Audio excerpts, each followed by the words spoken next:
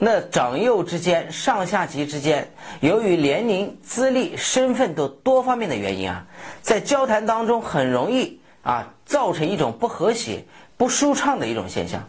那尤其是作为谈话主体方面的长者和幼者，上级和下级谈话时，往往因为所面临的是比他小啊、比他资历浅的小字辈，则更容易无所顾忌，不讲方式方法，那使交谈啊面临的阻滞不欢而散。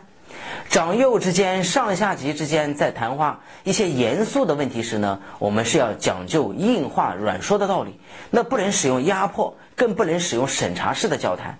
谈话要走心，不能走形式啊，不然的话呢，你谈你的啊，他做他的，那不利不利于工作开展。那当我们要说服长辈甚至上级的时候呢，我们要讲道理啊，只要你拿出足够的道理。证据能够使他们相信，他们就会改变主意，那转而接受你的意见啊。我们不能一味的说我就要这么做啊，你不懂我的想法等等。那正因为他不懂我们的想法，才要问嘛。所以呢，我们交谈要有理有据，不卑不亢，对吧？与异性交谈是极其微妙的，不同于恋人之间，也不同于夫妻之间。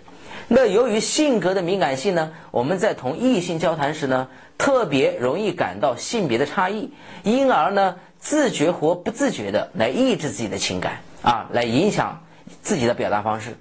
那聪明的人呢，在与异性谈话时，往往会恰到好处的选择一些生活的趣事，或者是女性感兴趣的话题，来拉近彼此间的距离，那产生共鸣，增加亲近感啊。比如聊一些轻松的大众化的话题。另外，和异性交谈要比你和同性交谈要倍加留心，因为第一他对你不了解啊，第二又由于性别的关系，对吧？往往谈话之间呢特别谨慎和敏感啊，所以呢你一定要重视任何可以得到的线索和暗示，随机应变来调整你谈话的话术和谈话的方式以及谈话的话题。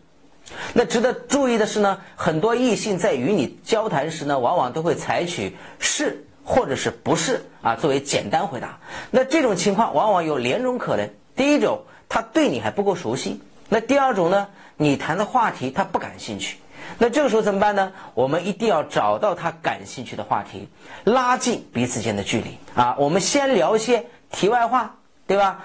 等大家有了共同话题以后。我们再聊主题，那往往更多的女性呢，她一旦啊这个感兴趣话题以后啊，就会一发不可收。那么与异性交谈，切不可过分热情，那否则啊会使对方产生误会，产生暧昧之嫌，那可就不好啦。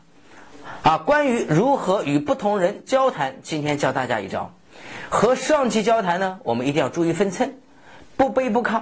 啊，和下级交谈呢，不能摆老资格，给予对方足够的尊重，多聆听对方啊意见。那么和年长者交谈呢，我们一定要善于聆听，及时对他过往的经历啊给予赞许和表扬。那和女性交谈，千万不能产生暧昧之嫌啊，要投其所好，找准话题，那当然最后的成交就不在话下了。啊，好了，那今天呢，我们就分享到这里。喜欢我的朋友，关注转发。